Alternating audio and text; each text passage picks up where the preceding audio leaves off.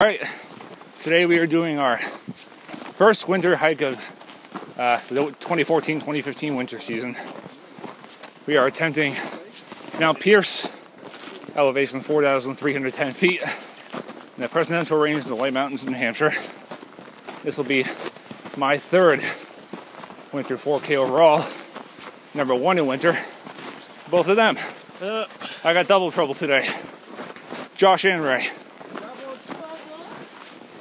So it's going to be pretty mellow, relatively speaking, until the last couple tenths of a mile, where it's pretty exposed, and we might actually run into hurricane force wind gusts. So we'll just take it slow and easy. Don't want to burn ourselves out on this, our first real winter hike, and we'll see what happens once you hit tree line. We're at a uh, break point on the Crawford Connector. By the way, the Crawford Connector isn't part of the official Crawford Path. Official Crawford Path starts a little that way. There's double trouble again.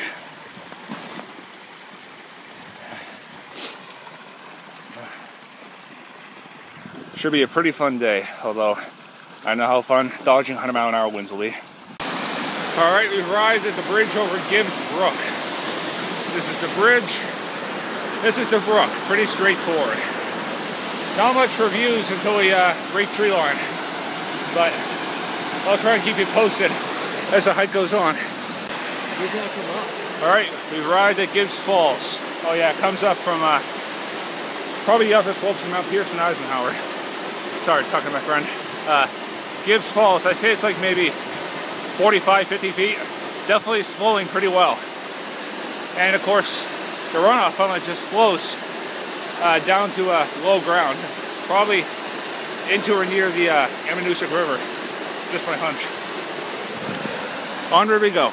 All right, still chugging along the uh, Crawford Path, and to post hold. Don't worry, it's off. Don't worry, it's off the trail. So it's gotten pretty moderate, but I wouldn't call it steep by any means. Although I'll see what happens on uh, later sections of the hike.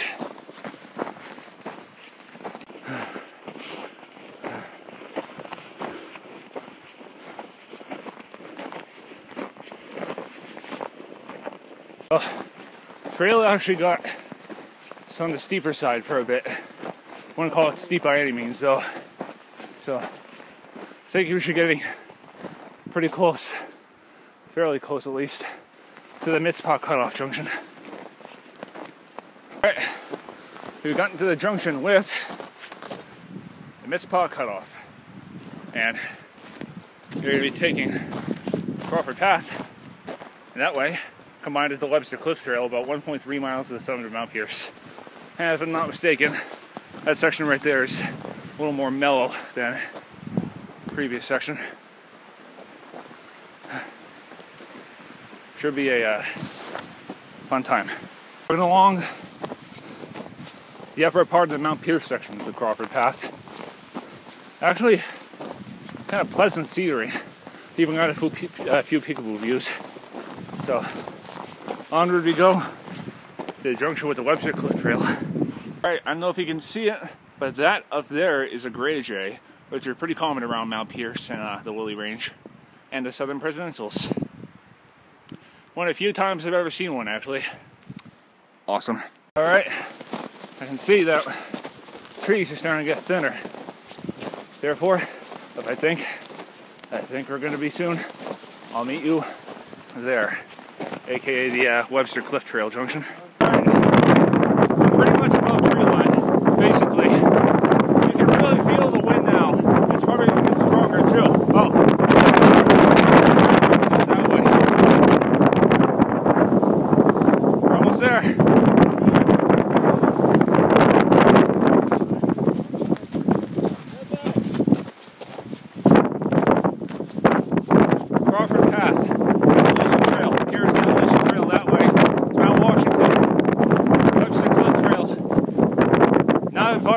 Our distance is all to Mount Pierce, 0.9 miles from the Mizpah. Now, many owners of business summit of Mount Pierce. Alright, and the final close to the summit is just right up there. Man, this is incredible. Even more wild,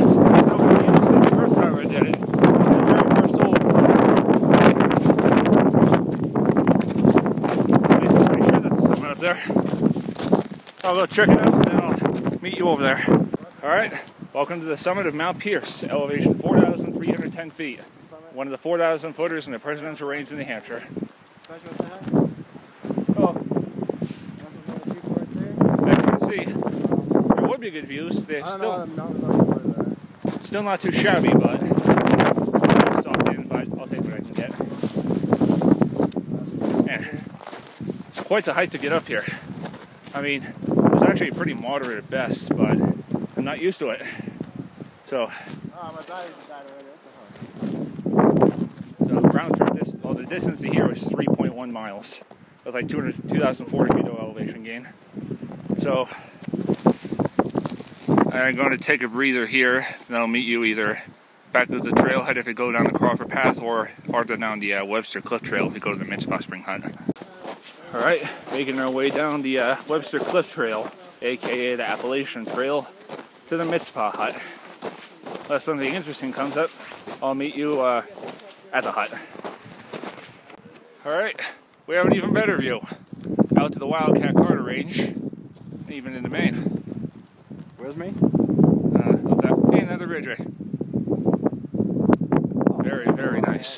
Nice. We're at the viewpoint on the south peak of uh, Mount Pierce. My jacket, how about food? Yeah, that's frozen water on his jacket. It was uh, liquid, but so cold it froze. Yeah, not really much to see except Mount Pierce looming over the uh, uh, contour of this peak. So I'll meet you at the Mizpah hut. All right, we are butt sliding down.